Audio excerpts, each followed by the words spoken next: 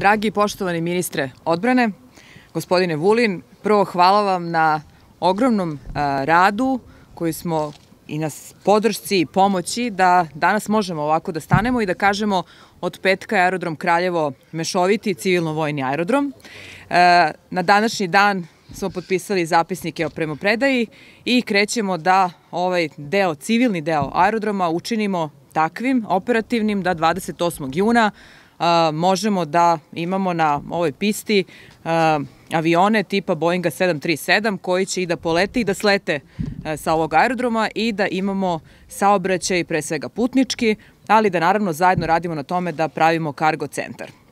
Hvala vam na vama i svim vašim saradnicima na svemu što ste uradili i naravno na saradnji koju ćemo, verujem, imati e, i u narednom periodu. Ono što je jako važno za ovaj aerodrom E, mi smo već pokazali da možemo da podignemo aerodrome u Srbiji. Aerodrom Niš je pre samo tri godine beleži oko 1000 putnika, danas beleži 330.000 putnika.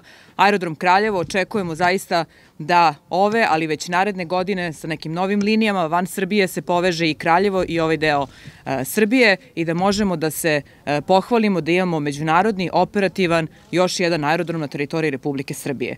Sigurna sam da ćemo u narednih nekoliko meseci učiniti sve što možemo da do te operativnosti dođe. Ono što ću ja zamoliti ministra Vulina, nisam mu to rekla pre početka, to je da pokušamo možda da 28. juna na taj veliki praznik napravimo jedan aeromiting zajednički, uh, vojno-civilni, ako bude bila mogućnost, mi bismo jako voleli. E, da pokažemo građanima koliko vlada Republike Srbije pre svega ulaže u infrastrukturu, koliko se maksimalno trudimo da svaki deo Srbije napravimo takvim, da ima takve uslove za život i takvu infrastrukturu da može da se razvija i one ko se nalazi na severu Srbije, na jugu Srbije, na istoku Srbije, na zapadu Srbije i zato je ovaj aerodrom i strateški veoma važan za nas. Tako da neka nam je se srećan 28. juna da ovde dođemo i gledamo avione koji će sletati i poletati. Hvala.